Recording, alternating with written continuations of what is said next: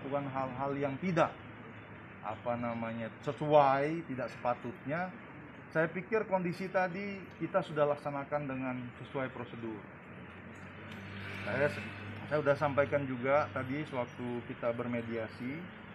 Ya, saya sampaikan ya satu hal yang menurut saya sangat sangat tidak layak di desa Sidetape adalah bagaimana mereka bergerombol membentuk uh, kerumunan massa menakut-nakuti dan ada provokator yang yang apa namanya melakukan tindakan-tindakan yang menakut-nakuti petugas. Kemudian seolah-olah bahwa desa Sidetapu itu bukan bagian dari negara Republik Satuan Negara Kesatuan Republik Indonesia. Dan saya juga baru tahu bahwa ada satu anggota saya lagi yang dipukul. Dipukul dadanya dua kali, dicekek, dipukul ulu hatinya dua kali, kemudian dipukul tengkuknya. Penyampaiannya karena melindungi mobil dinas dan DIM 1609 Buleleng dari rencana penghancuran oleh masyarakat. Ini yang lagi kita teliti bersama. Itu yang menurut pendapat saya kurang pas dilakukan oleh masyarakat di tengah pandemi seperti ini. Karena kami sudah berusaha bekerja keras sesuai perintah yang kami terima dari komando atas, baik dari Polri maupun TNI, dengan menggunakan seluruh kemampuan yang ada untuk membantu masyarakat. Dan saya berpikiran untuk Buleleng itu sudah cukup berhasil menekan laju terkonfirmasi positif, kemudian melaksanakan kegiatan isoter, memisahkan yang sakit dengan yang sehat, sehingga masyarakat bisa normal. Seperti dan kurvanya sekarang saat ini makin melandai. Ini yang harus sama-sama kita pahami karena sebenarnya kuncinya ini adalah kesadaran dan keikhlasan masyarakat untuk sama-sama bahu membahu, bukan dengan tindakan-tindakan seperti ini. Dan tolong, tolong ya mungkin saat ini saat yang baik, khusus di Detape, tolonglah dikurangi sedikit kegiatan-kegiatan yang arogan, premanisme. Ini menarik perhatian dan saya sudah berkomitmen dengan Bapak Kapolres, kami akan tetap melaksanakan kegiatan-kegiatan yang lebih masif lagi. Negara kita negara hukum, dan hari ini saya melaporkan apa yang terjadi pada kami, pada petugas negara yang sedang melaksanakan tugasnya kepada pihak kepolisian.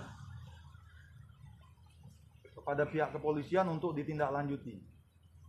Saya selaku Komandan Kodim 1609 Buleleng mempertanggungjawabkan semua yang dilaksanakan oleh satuan tugas tim yang bekerja pada hari ini karena saya ada di sana.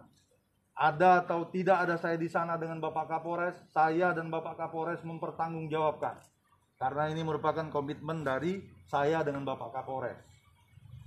Seperti perintah yang diterima, yang kami terima saat kunjungan dari uh, Menko Marves selesaikan dan pesan saya adalah jadilah warga negara yang baik, yang patuh kepada hukum, yang tidak semena-mena.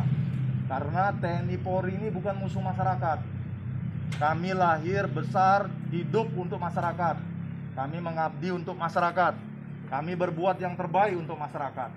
Bekerja pagi, siang, sore, malam, subuh untuk masyarakat. Jadi janganlah melakukan hal-hal yang tidak perlu seperti itu. Dan tidak ada TNI atau Polri itu yang akan berpikiran untuk menyengsarakan masyarakat, memukul masyarakat, tidak ada.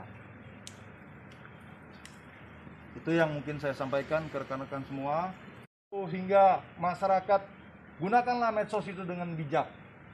Hingga masyarakat bisa melihat, memahami kejadian tersebut secara menyeluruh. Jangan memotong-motong hanya ditunjukkan saat-saat apa prajurit kita memukul apa namanya rekan tadi yang yang sudah saya jelaskan. Karena sebenarnya pemicunya adalah komandan kodim 1609 dipukul dari belakang kepalanya. Dan itu menimbulkan respon reaktif dari uh, anggota saya yang bertugas di lapangan. Demikian teman-teman semoga ini bisa memberikan penjelasan dan semoga ke depan kita sama-sama bisa bergandengan tangan melaksanakan saya koordinasi dengan RSUD kita untuk melaksanakan CT scan ya tadi ya alhamdulillah uh, saat dipukul tadi saya cuman pusing saja sedikit ya saya tadi dengar juga informasi Ya untung saya hanya dipukul pakai tangan saja. Karena saya berpikiran kalau mungkin ada alat lain dengan kondisi seperti itu mungkin ya terjadi yang lebih buruk terhadap diri saya. Tapi itu merupakan konsekuensi di mana saya bertugas karena kami tidak menganggap masyarakat itu musuh sehingga kita ini sama-sama hingga alhamdulillah saya masih sehat kemudian tadi sudah melaksanakan visum di rumah sakit tentara kita bukan musuh Untuk Itu anggota saja. yang lain di visum juga nah. ya semua anggota tadi di visum termasuk yang tadi dipukul dada kemudian ulu hati kemudian dicekek dan dipukul apa apa namanya tengkuknya itu sudah di visum Total ada berapa nan selain komandan prajurit? ada berapa tadi ya ada empat orang Berarti empat, eh, lima termasuk komandan Empat. Eh, yang mengalami Empat dengan saya Ya, oh, Ya, empat karena saya komandan. juga tidak tahu ternyata ada juga anggota saya yang dipukul sama warga oknum masyarakat ini. Ya saya harap nanti kita dapat melaksanakan tugas dengan sebaik-baiknya. Kita selesaikan ini secara proses hukum. Karena tadi sebenarnya saya berpikir saya sudah memaafkan mereka sebenarnya. Ya taruhlah ini konsekuensi saya sebagai komandan kodim yang bertugas di lapangan. Namun setelah dikaji lebih dalam, apabila ini hanya kita maaf-maafkan saja, pemikiran ini hanya begitu saja, maka akan makin jadi aroganisme, premanisme, menakut-nakuti, berbuat berbuat seenaknya sendiri yang mungkin dilakukan oleh oknum-oknum yang tidak bertanggung jawab. Melaksanakan operasi pendisiplinan besok. Kita akan melakukan tindakan yang lebih tegas dan terukur. Betul Wakapolsek ya? Wakapolres ya? Besok kita akan laksanakan dengan prioritas desa Sidetape besok juga teman-teman bila berkenan kita melaksanakan donor plasma konvalesen dari yang sudah sembuh-sembuh di Undiksa besok dengan juga dari rekan-rekan kepolisian ada 80 orang ya Uniksa di mana nan? di Undiksa di auditorium mohon Auditorium, kiranya ini siap. sebagai salah satu upaya kita juga untuk membantu masyarakat Siap. Awal kami KPKP belum berani.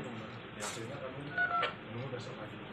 Rencananya besok di kliniknya akan mencari desa. Ini saya nunggu petunjuk aja besok. Kalau boleh saya patroli sana besok patroli. Kami pagi-pagi pakai ini. Ini ada datang nama orang siapa? Gitu aja. Ya. Ya. Ayo beli. Kalau menggunakan alat, maaf dua giliran. Luka berat atau lewat. Iya. Sama ya Pak. Maaf, dia bilang kan. Iya Pak, itu. Mohon maaf. Itu kan kalau saja menemukan alat saja. Apa ada rencana tidak nanti pasal yang membuktikan ya. Tapi kecuali ada alat menjadi apa dan dibilang. Mohon maaf, ya. ini kan analisa.